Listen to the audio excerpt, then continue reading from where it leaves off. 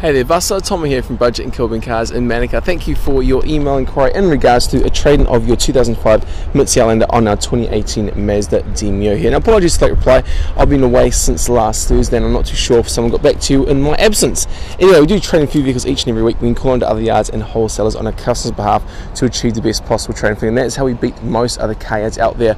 So, Brennan, let us check it out for you. More on this car here, though 1.5 litre and 14,000 Ks, 2018, a couple years old, and it is a safety pack pre-crash spec. See all those gizmos up there next to the rear vision mirror?